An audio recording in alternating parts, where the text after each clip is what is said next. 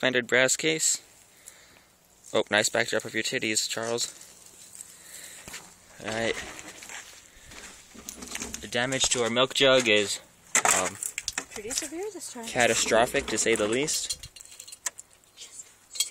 One clean entry wound.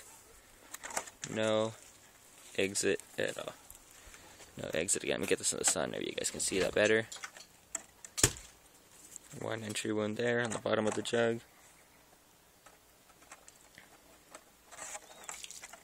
And everything just blew apart. The cap came off too. That's a first. Did you find it? Ah, and there we are at the expanded bullet.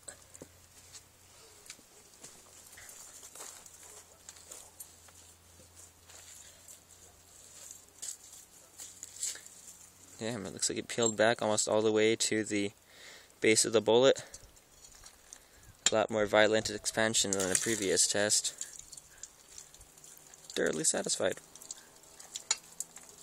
Chavezhead, signing off.